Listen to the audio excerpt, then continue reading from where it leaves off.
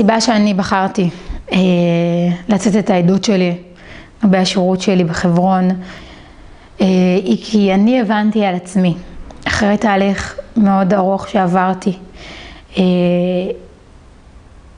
שלהיות אה, בעמדת כוח כזאתי, של עם כובש, של צבא כובש, אה, אני אישית שילמתי מחיר מאוד מאוד כבד, ואני חלק מהחברה הזאתי.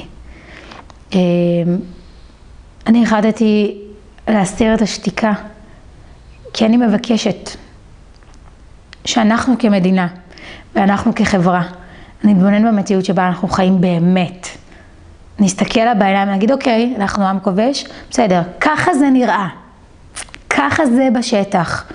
אין לי פתרון, אין לי, אין לי אופציה אחרת, אין לי משהו להציע כאופציה חלופית. אבל עדיין, צריך להסתכל על מה שנעשה היום בשטח.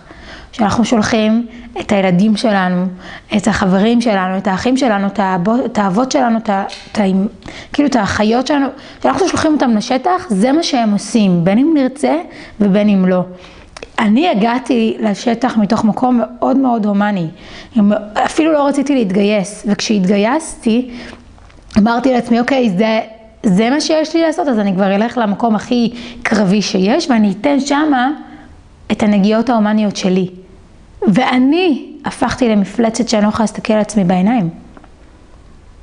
ועל זה, ואני לא היחידה.